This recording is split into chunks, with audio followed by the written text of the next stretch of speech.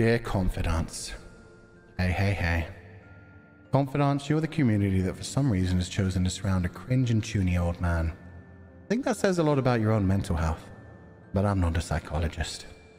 Regardless, you've all been a very sweet and compassionate community since day one.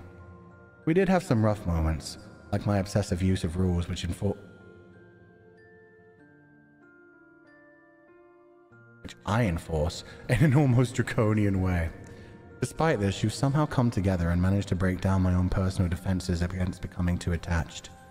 Truth is that I always try to scare away as many people as possible so that only the small community who really gives a damn sticks around. It isn't some weird obsession or self-deprecation thing, but rather because I know that all too well how quickly something amazing can be taken away from you. Thus I like to put up walls and not get too attached to any form of joy. Somehow I've begun letting those walls down and I think because of that, I'm becoming a more open and genuine person who knows what he wants in life. And I want you all to experience that too, which is why I will always do my best to be the shepherd of this comfy and cringe as fuck community. I bar you.